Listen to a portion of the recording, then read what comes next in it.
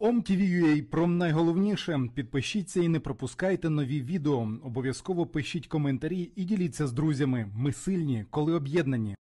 Практическая боевая работа показывает, что ПВО России одно из лучших в мире. Смотри, вот прям, прям над нашим домом, братан. Прям над нашим домом. Прям на меня летит. У нас в стране таких ракет производят в три раза больше. Даже больше, чем в три раза. Только что был третий прилет. так что начинается веселое время. Российское производство сопоставимо со всем мировым производством. То, что они на Рублевку летят к вам домой, да и хрен-то с ним, пускай ваши дома полыхают. А что людям обычным делать, когда в их окна врезаются беспилотники со взрывчатым веществом? И поэтому, как гражданин, я глубоко, глубоко возмущен, что эти мрази спокойно сидят и просиживают дальше свои ожиревшие сраки, намазанные дорогими кремами. И поэтому я считаю, что народ имеет полное право задать им эти вопросы. Все бывает, но в целом система работает исправно. В ответ, как известно, киевский режим э, выбрал другой путь. Путь попыток запугивания России. Запугивания граждан России. И ударов по э, жилым зданиям. Вот Что ты сказал, жилые дома, я начал чвякать. Откуда ты знаешь, получилось или нет? Киев разобрать, Одессу разобрать, Харьков, Днепр, Львов, Ивано-Франковск. Значит, сегодня должны туда пойти удары гораздо более жесткие, чем те, которые идут сейчас. Это война. По-другому уже быть не может. Тактическое ядерное оружие недолго будет э, стоять зачехленным. Это э, фюреры э, не понимают, не принимают. Почему? Потому что значит, у них, э, как им кажется, очень надежная крыша. Мы видим, как разнится действие вооруженных сил Российской Федерации, которые применяют вооружение и военную технику только в отношении военных объектов и в отношении военной инфраструктуры от действий киевской хунты. внешняя политика России миролюбивая, без всякого преувеличения. Если посмотреть на э, политическую карту мира и увидеть, что из себя представляет Россия, становится очевидным, что нам не нужно ни чужие территории, ни чужие природные э, богатства какие-то. У нас всего достаточно. Мы самодостаточная страна. У нас нет необходимости э, с кем-то воевать и конфликтовать. Врать надо заканчивать. Надо заканчивать врать. На всех уровнях, везде. Везде, вообще в нашей стране. Чтобы потом локти не кусать себе же, нужно прекращать врать. Что касается буд- будущего, оно на самом деле будущее есть у всех. Только оно разное.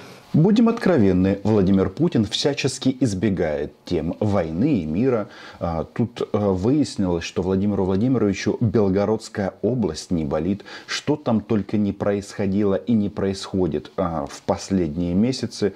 Но почему-то заявлений, оценок и, главное, каких-либо действий, которые нужно совершить, все это не прозвучало с уст Владимира Путина. Он сидит в своем бункере и, очевидно, думает о России. Когда он думает о России, эм, в публичном пространстве мы видим российских нацисток.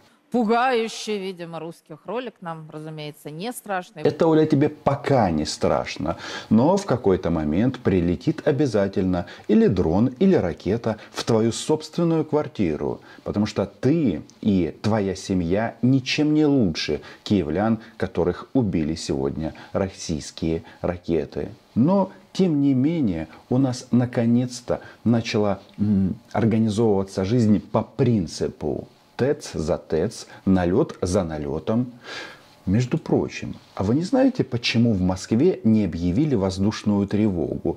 Я, как человек с некоторым опытом, могу вам сказать, дорогие москвичи, что э, в случае э, объявления воздушной тревоги нужно ночью взять своих детей и спуститься в метро или подземный переход. На всякий случай. Потому что, как выясняется, вот смотрите, вы же знаете, что мы наносим удары исключительно по российским объектам. А Министерство обороны вашей страны, фашистской федерации, пишет, что с помощью средств РЭП а, были изменены курсы движения некоторых беспилотников. И, очевидно, поэтому они попали в жилые дома.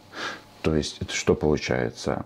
Путин опять взрывает Россию, ну, посредством корректировки движения украинских БПЛА. Но есть и еще одна реакция, которая доказывает важное правило. Ну все когда случается первый раз. Может и у меня этот первый раз тоже случится когда-нибудь. Здесь наглядно видно правило, что когда российские представители открывают рот, они всегда врут. Маша, во-первых, это у вас не в первый раз. Были ситуации, когда прилетела в Кремль. Все вопили, топали ножками, но так и не ответили на вопрос, где российское ПВО, почему не работали сигналы воздушной тревоги? И вообще Путин думает о защите русскоязычных в Москве, хотя там с русскоязычными как ни странно, самые большие проблемы. Я просто смотрю новости на болотах, а там они постоянно занимаются тем, что выгоняют мигрантов из а, футбольных площадок. А мигранты перед этим выгнали детей а, российских из этих футбольных площадок, а их отцы гниют под Бахмутом.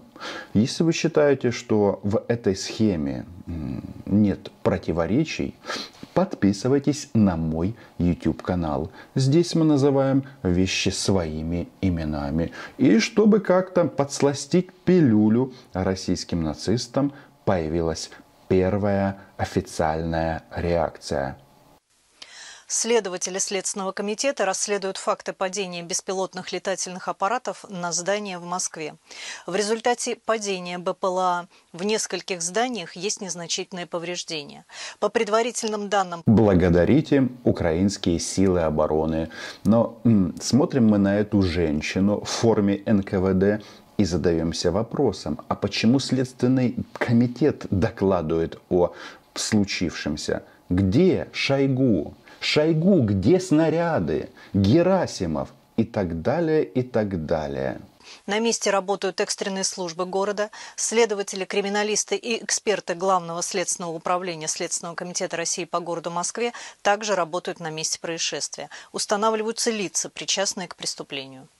Меня всегда забавляет, почему у них а, удары по Украине это что там проведение специальной операции, а когда прилетает к ним, они визжат как, а, как Мария Захарова и называют это терактом.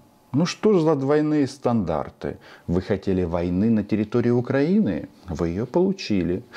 Но нюанс в том, что тренд-то какой? Вот война на территории Украины сокращается и понемножечку, понемножечку перемещается в сторону российских болот. А война идет!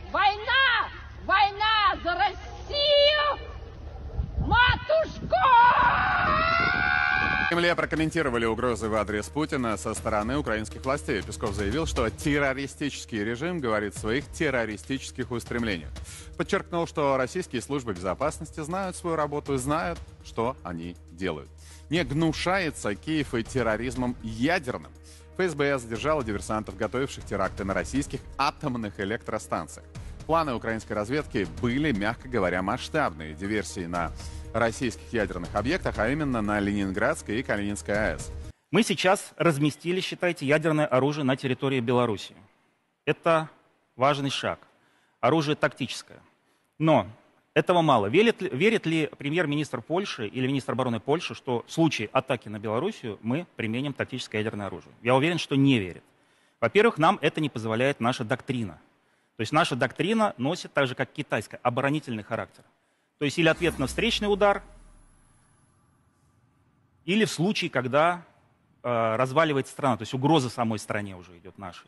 Тут же Белгород, то есть э, где произошла уже, ну не диверсионно-разведывательная группа зашла, зашло целое подразделение. И это будет продолжаться и усиливаться. То есть никаких красных линий нету. Никаких э, понятий, правил ведения войны тоже уже нету. И бороться с этим мы должны именно сейчас, то есть не бить по шапкам, как когда-то делали англичане, а делать превентивные шаги, создавая аналогичные э, средства воздействия на противника. Доктрина у нас весьма гуманная.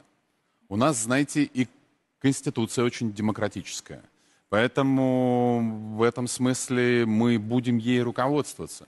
Но она позволяет нам себя защитить в случае угрозы существованию, там главное же прописано, угроза существованию Российской Федерации. Маленькая ремарочка. У нас правовое государство, и Верховный Главнокомандующий действует строго в рамках этого законодательства. А основой э, политики Российской Федерации в области ядерного сдерживания и является в том числе законом, который подписал Верховный Главнокомандующий.